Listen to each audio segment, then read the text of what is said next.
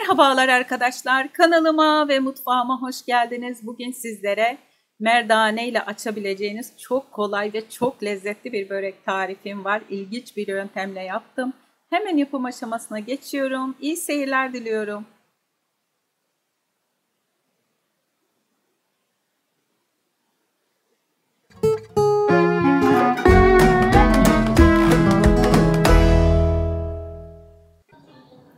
Öncelikle hamuru için bir çay bardağı sıvı yağımı kabıma alıyorum.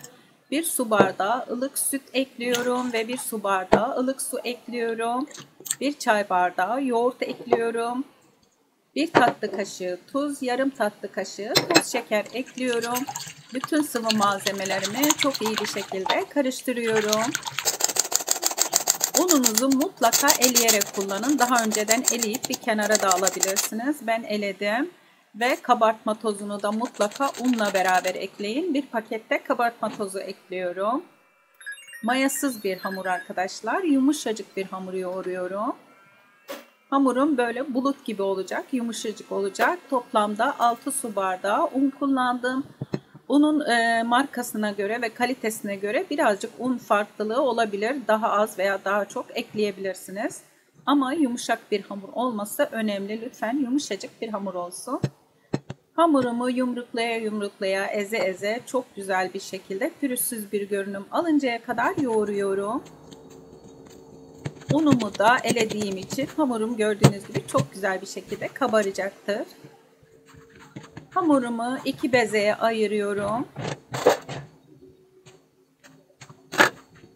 Sadece iki bezeyle yapılan bir börek. İnanın e, yapımı çok kolay, çok pratik ve o kadar da lezzetli oluyor.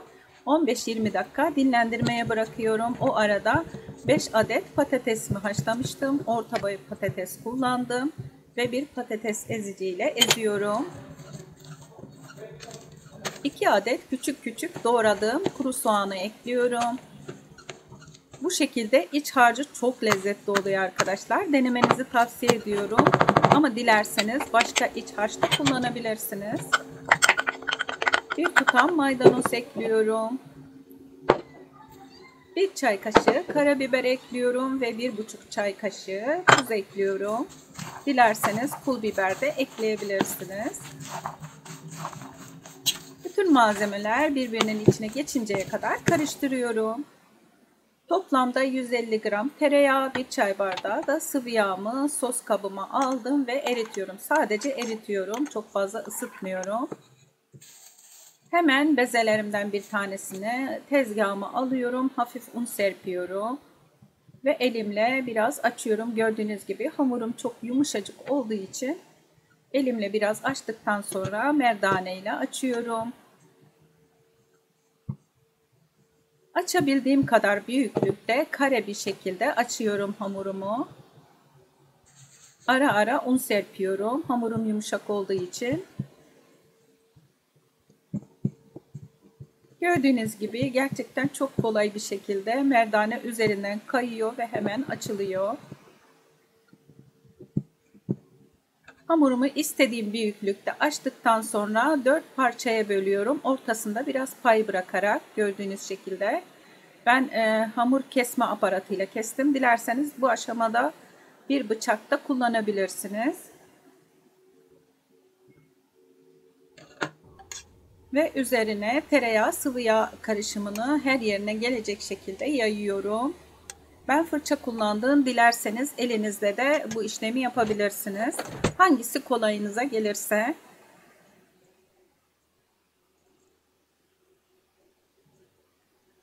Ve iç harcından tepeleme bir yemek kaşığı dolu dolu her parçasının üzerine koyuyorum.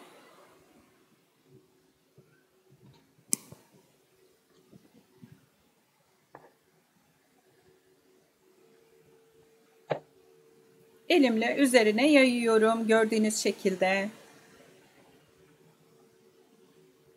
Hem çok kolay arkadaşlar bu böreğin yapımı e, mayasız olduğu için de e, bekleme süresi de yok ve çok lezzetli bir börek tarifi.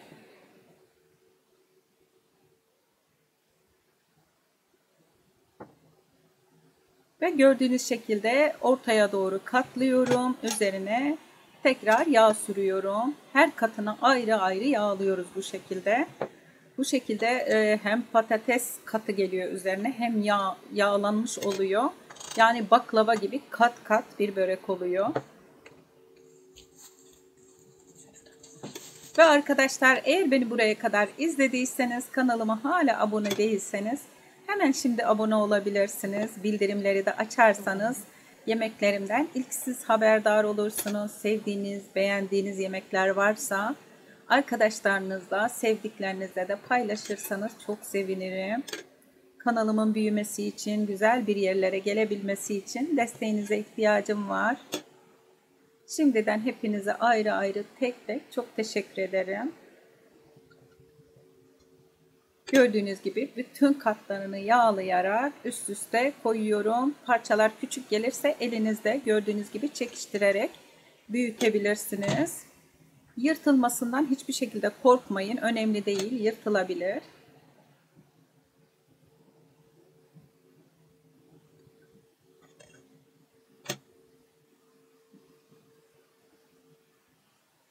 Hemen yağlı kağıt koyduğumun tepsimin tam ortasına alıyorum. Elimle biraz yaydıktan sonra. Tam ortasına koyuyorum. Biraz daha elimle açtıktan sonra üzerine bir buzdolabı poşeti koyup temiz bir bezle örtüyorum ve diğer, diğer bezeme geçiyorum. Diğer bezeme de işlemleri tamamen aynı sıkılmayasınız diye hızlı hızlı geçtim arkadaşlar. Ama tekrardan da göstermek istedim. Eğer burada sıkılırsanız videoyu kaydırabilirsiniz.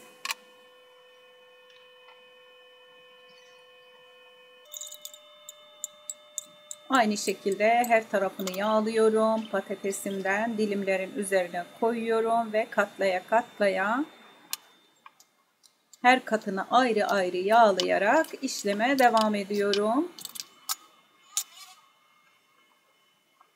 İnanın e, yaptığım en güzel böreklerden bir tanesi arkadaşlar ve yapımı oldukça kolay ve pratik mutlaka denemenizi tavsiye ediyorum.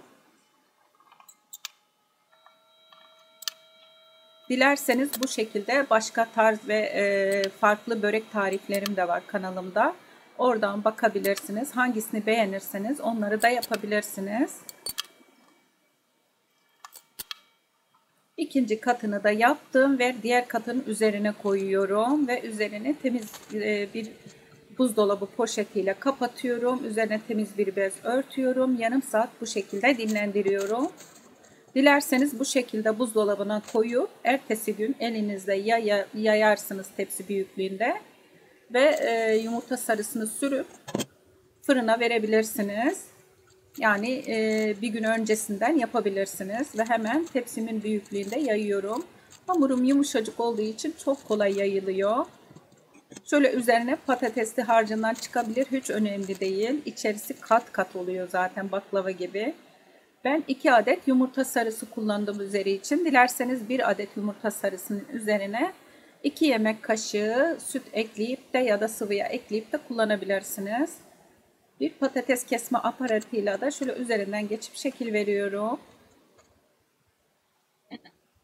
Ve dilimliyorum arkadaşlar. Bu tarifin en güzel yönü de bu. Mutlaka dilimleyin.